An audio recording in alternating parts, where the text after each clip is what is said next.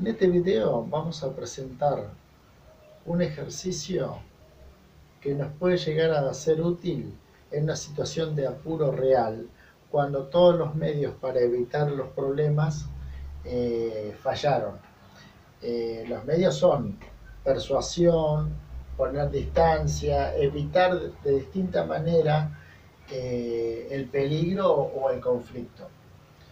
Pero cuando ya estamos inmersos en la situación y donde ya sabemos que de todos modos vamos a tener que afrontar una situación eh, desagradable, lo mejor, en mi opinión, es pasar de un estado mental pasivo a un estado mental activo.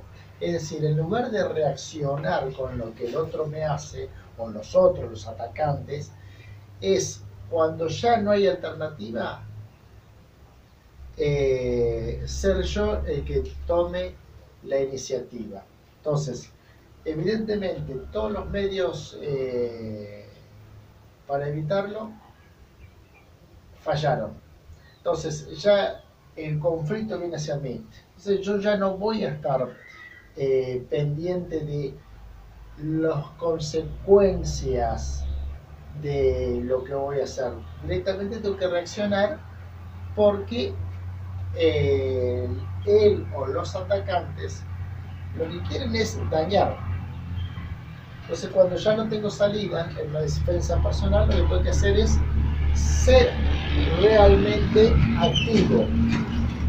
Entonces, eh, si bien las artes marciales tienen muchas técnicas, eh, todas útiles, todas eficaces, algunas muy vistosas, pero lo cierto es que cuando estamos en, peligro, no podemos eh, recurrir a, nuestras destrezas más eh, elaboradas.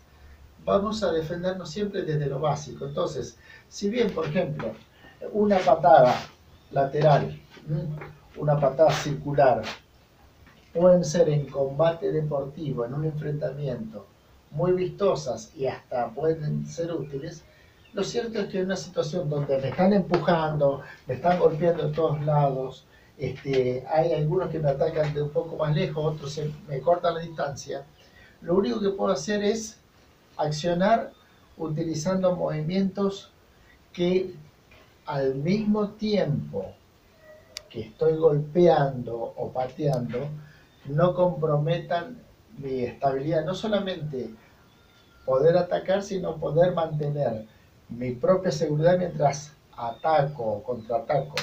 Entonces, eh, cuando ya la situación se vino, lo primero que hay que hacer es ser directo. Tenemos distancia, largo de pierna, que es hasta donde llego con, el pie sin alterar demasiado mi posición. Luego la distancia media, básicamente como boxear hasta donde llega mi brazo sin alterar demasiado mi posición. Y después cuerpo a cuerpo, donde me empujaron, me agarraron, me llevan de un lado para otro. En fin, esa es una situación en la cual no queremos estar. Lo que más nos conviene es estar activos golpear lo más duro posible y salir y salirnos, movernos. Entonces, tenemos una noción de distancia. Esto simularía el cuerpo a cuerpo. Eh, obviamente, no todo el mundo tiene el muñeco de, práctica, entonces puedo utilizar como referencia un espejo, eh, una bolsa, cualquier elemento para entender la distancia. Es importante mantener el equilibrio al mismo tiempo que se está golpeando. Entonces, esto también es válido para personas que nunca han practicado un arte marcial, más allá de que hagan o no algún deporte o alguna actividad física como pasatiempo, ¿no? Pero entonces, no podemos comprometer nuestra eh, estabilidad, tenemos que afirmarnos bien y esa misma firmeza, echar el peso corporal detrás de cada golpe. Entonces, si estoy de frente y el golpe viene de frente, lo que hago es ir directo al frente. si estoy en una posición y el golpe viene de un lateral, no pierdo tiempo girando. Voy hacia el lateral. Lo mismo con las manos. Después sí, podré reacomodarme y reposicionarme dependiendo si es uno atacante, varios atacantes. Y también va a depender que no es lo mismo que me ataquen a golpes que de mano a que vengan con algún elemento. La mayoría de las veces las peleas, eh, por lo general, eh, siempre hay un elemento que interviene, ya sea un palo, una, navaja, una cadena, y eso potencia la peligrosidad, potencia el, el riesgo en nuestra contra. Vamos, volvemos al punto inicial. Entonces, yo en un combate deportivo puedo ponerme en guardia. En una situación de defensa personal no voy a estar en guardia porque el ataque va a ser inesperado, violento y voy a, actuar de la mejor manera posible, de la manera más contundente y con la mayor eficacia. Entonces, lo que me conviene como ejercicio es reposicionarme, moverme, reposicionarme, moverme, llevar, si estoy de, para un lado, para el otro, ¿Mm? si como, me puede servir como rutina de gimnasia. Levanto directo, levanto directo, levanto directo, levanto directo, golpeo directo, golpeo directo, golpeo directo, golpeo directo. Tengo, entonces, me muevo, reposiciono, me muevo, me muevo, me muevo. El espejo es útil. Acá no tengo un espejo, tengo un marco de referencia. Distancia larga.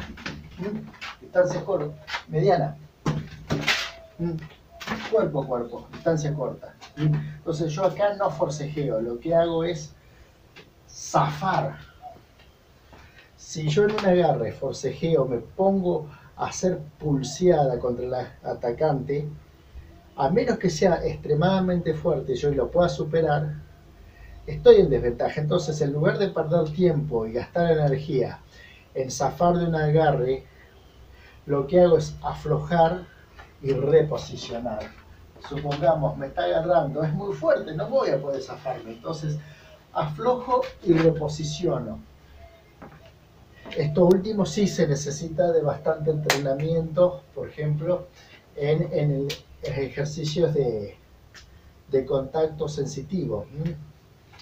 Pero bueno, volviendo al punto.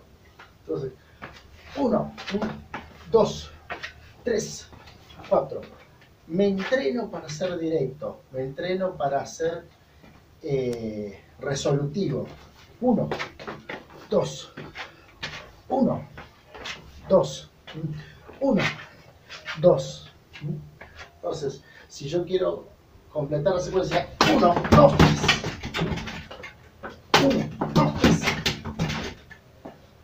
Lo importante, no perder la estabilidad,